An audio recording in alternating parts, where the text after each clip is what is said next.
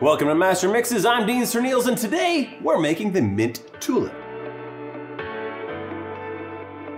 Here's a fun cocktail for the springtime. We're actually just doing a bit of a twist on a mojito, and we're going to do that with vanilla vodka. Vanilla vodka in some cocktails, especially lime cocktails and the strawberry, it brings out kind of a dessert note in it. And three ounces of Master of Mixes mojito.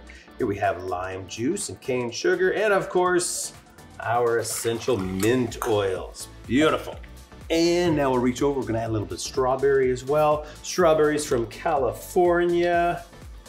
And cane sugar, just one ounce of strawberry. I don't want it to overtake the cocktail. I still want it to be nice and light and refreshing. Three ingredients, we'll shake these three ingredients up.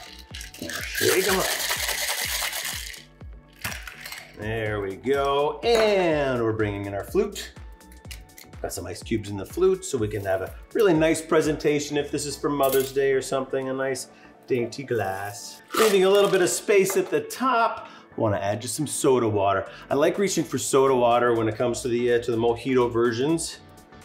There's big bubbles in soda water, so that is going to help break up the sugars in the cocktail and make this more refreshing and crisp. There we go. And I have a nice piece of mint right there. And here's the mint tulip, another great Mother's Day cocktail. I'm Dean Serneels, and be sure to subscribe below for mojito recipes, strawberry recipes, and many more.